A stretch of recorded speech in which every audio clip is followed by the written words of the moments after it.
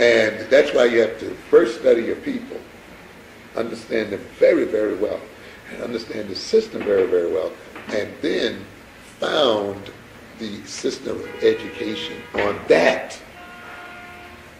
This is what I mean again by being mis- miseducated.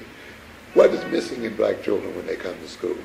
What is what kind of personality do they generally have as a result of being so-called black in America? Then, what kind of curriculum or curricula can we establish that speaks to that issue? And so, therefore, a cultural understanding will will literally tell you what kind of educational system you must establish. But if you look at another people and take their system and impose it on yours, then you're going to miseducate them. It's not going to work. It's not going to happen. So when you start your analysis and understanding, and then you start educating people, your own people and your own group in terms of that, then you start producing the kind of people you need to advance the interests. And when you get ready to go into economic establishments, the first thing you see about often is not the money, but the people, the personalities, the ability to work, the faith. And that's what you, you, you build up. When you study the, the Jamaican Susu system, that's a system that's ultimately still based on trust to a good degree. Or you study the Chinese who had a very similar system. That was a belief. We're from the same village.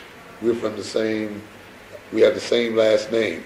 Therefore, having this, we are vowed, we may betray everybody else, not, not between us. You know, and you work that thing up. That's why it's very important now to see like Sister Donna is into initiation rites. Very important. Because it is through rites. A rite is not, is an education and it is also the provision of experiences. So that when people get through with that education and that experience, they become attached to each other in, in a way that works for them in many different ways. You see, the thing that used to puzzle me a lot was tribalism in Africa. I know people use that term, but what, what I always ask myself, how is it that you can build such loyalty into people who obviously are, are of the same ethnic root, but who can look at each other almost as if they are complete different people? You know, where Yoruba looks at an Igbo like you know, like we would look at a white person almost, you know, sometimes, you know. And that used to get to me. And to me, that's an important question you need to answer in Hunter College. That's an important question you need to answer in anthropology and answer in psychology. If you're not answering those questions, you're not solving any problems.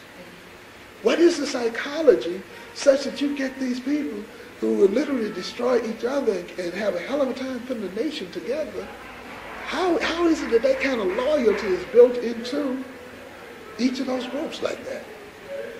And a part of my looking at that question made me look at initiation, see, and training. How, how is it that these Africans can train that kind of intense loyalty such that the person is identified more by his tribe than he is by his individual person?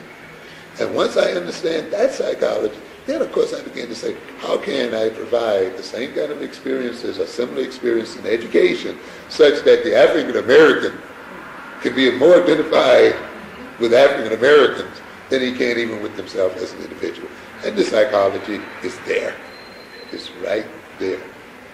Then the issue becomes, how can I get a school or facility so that these experiences can be created and worked out and that loyalty uh, of that.